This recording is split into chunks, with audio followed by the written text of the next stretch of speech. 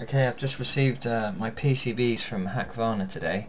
Um, I was introduced to Hackvana by a guy who was working on a project at the Space Apps Challenge and I was trying to look for affordable, you know, well-priced PCB production because it can be pretty expensive. He recommended Hackvana. Uh, I contacted him and there's a really helpful guy there called Mitch who talks everything through with you. Uh, so I've made a first order of PCBs for a soil sensor I'm making and they have arrived today.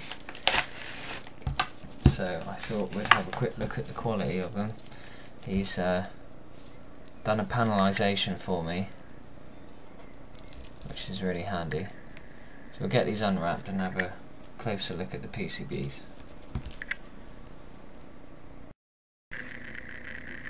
Right, so we can get right in and have a closer look here. So I designed this board on Altium Designer uh, for a soil sensor. So, I mean, I'm pretty pleased with that. You know, it's as good as any motherboard that I've looked at.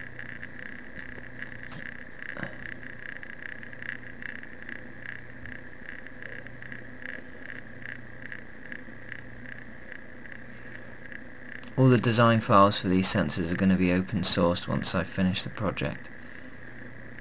So I'll be explaining how it's all made and all the design files will be freely available.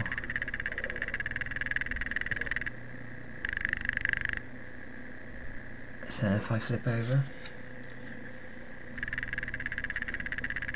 there's a marker for the serial number there, and there's the split ground planes. Some notches have been routed in there for the housing. There's the wires. And then the ground planes join up here. So yeah, I'm pretty pleased with that. There'll be uh, links to Hackvana um, on in the comments to this video. Uh, so I had 25 boards done. These are about, I think they're about 20 centimeters long by 2 centimeters wide, possibly a bit longer than 20 centimeters. And they got a nice grooved edges here for going into the soil. They came out about $4.28 per board, so I think that's really cheap. Must be around 3 quid, you know, English.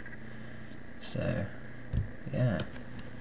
You can choose different finishes. This is the cheapest option these colors this actually that's a that's an ROHS finish because this is going to be sold in Europe. But uh, it can be a bit cheaper with a PB finish. Uh, they help you out with all the options and Mitch is very helpful so yeah. So far I'm very pleased